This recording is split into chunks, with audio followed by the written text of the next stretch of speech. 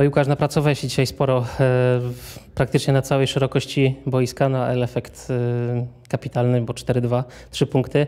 Zapominamy o tym e, złym tygodniu, który się zaczął, natomiast teraz możemy już patrzeć tylko optymistycznie. No tak, od razu troszkę Cię poprawię, bo napracowała się drużyna. Ja byłem jej częścią i też się napracowałem, ale to cały zespół na to zapracował.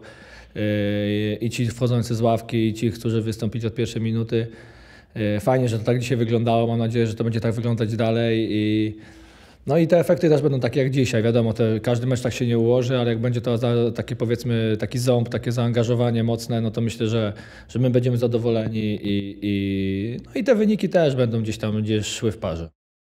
Nie mogę Wam e, odmawiać zaangażowania w poprzednich meczach, natomiast e, tamte zespoły po prostu też dobrze grały w piłkę, natomiast to dzisiejsze zaangażowanie pokazało, że prowadzicie 2-0, ale nie stajecie, strzelacie na 3-0 i widać, że cały czas macie tą chęć strzelenia kolejnej bramki i ten ciąg na bramkę praktycznie przez cały mecz nie ustawał. Tak, przede wszystkim tamte były mecze wyjazdowe. Te mecze tutaj e, u siebie gdzieś tam e, wiemy, że tutaj e, ciężko da, gra się drużyną. Chcieliśmy, chcieliśmy właśnie do tego wyjść dosyć mocno i intensywnie. Udało się to, no ale uważam, że możemy też na wyjazdach taką grę prowadzić i, i też szukać, szukać tam punktów.